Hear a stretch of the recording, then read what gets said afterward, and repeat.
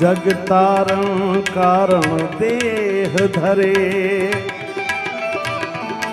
सत सेवा करे जग पाप हरे।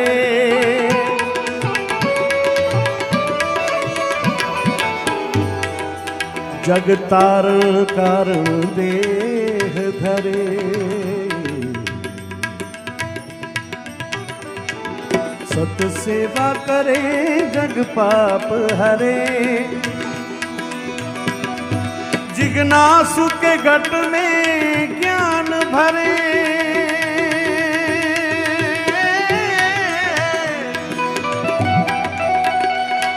जिज्ञासु के घट में ज्ञान भरे, सतवाणी सदा मुख से उचरे।